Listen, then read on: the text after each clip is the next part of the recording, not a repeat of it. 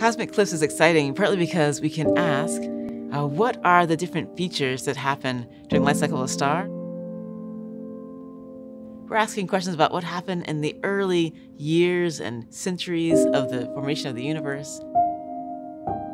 When I saw the images, I was just amazed because to me it looks like a simulation. To see these images at such high resolution, it really makes the work tangible in a completely new way.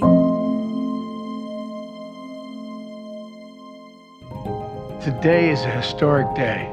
T minus 30 seconds and count. Shouldn't start? Six and a half months ago, a rocket launched from Earth carrying the world's newest, most powerful deep space telescope.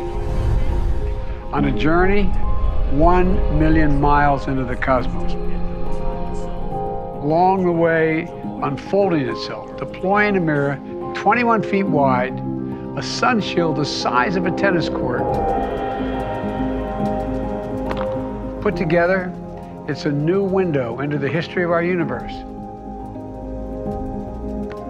We were holding our breath for July 12th to see if this great project for decades of work and many collaborations across countries around the world would lead to scientific discovery.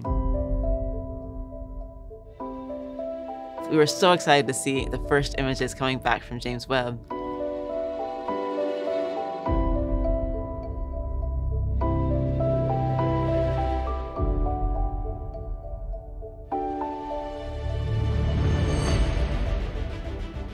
As a theoretical astronomer, I spend my day working with equations and computer code that describe the processes we see in the images. And this is really out there. And it's an image of this process really occurring. It shows us the very earliest stages after stars are formed and what James Webb does, and the NIRCam instrument in particular that was used to take the cosmic cliffs image, is that it can see through the dense gas and the dust. We can actually see the interaction, for example, of ultraviolet radiation from the young stars with the gas and we see this steam actually rising off the gas and enshrouding it. And it's just amazing to see this actually happening. This is even such a huge step after Hubble. What's great about James Webb is it can actually see different information. So it can look at the same part of space and it'll see different features that are actually invisible to Hubble.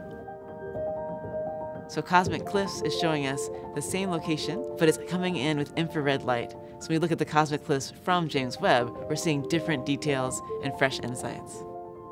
When you compare the images side by side, what really jumps out the fact that we can really reveal these younger stars from within the dense gas that usually covers them.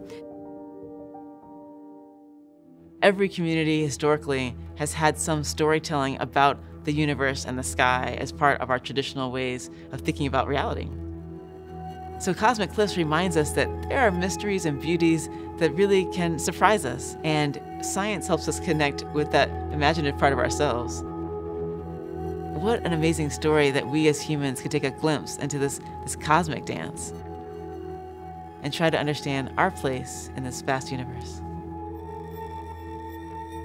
We're exploring this from this very human awe of things that we don't understand and understanding how small we are in the context of the universe and how much we have to learn.